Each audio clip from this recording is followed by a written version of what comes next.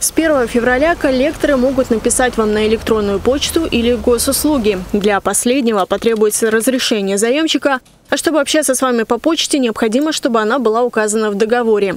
Выйти на связь с вами может и робот, его действия теперь будут приравнены к человеку, но вы можете попросить его перевести для общения на живого специалиста. Некоторые социальные выплаты будут проиндексированы, в частности, материнский капитал на 7,4%.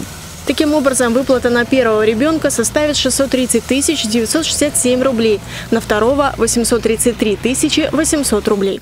Вырастет ежемесячная денежная выплата. Ее получают люди с инвалидностью, ветераны боевых действий, участники Великой Отечественной. Проиндексируют и входящую в эту выплату компенсацию набора социальных услуг. Это бесплатные лекарства, проезд на электричках. С 1 февраля повышается плата за проезд по федеральным трассам грузовиков массой больше 12 тонн.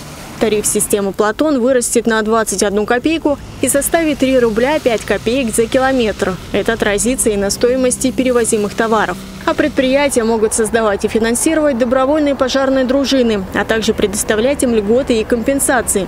В таком случае с пожарными добровольцами заключают гражданско-правовой договор. Их обеспечивают питанием, формой, оборудованием, могут предоставить помещение, оплату проезда, страховые взносы. Кроме того, в России появятся территориальные добровольные подразделения. Они войдут в структуру пожарной охраны и смогут участвовать в профилактике и тушении пожаров.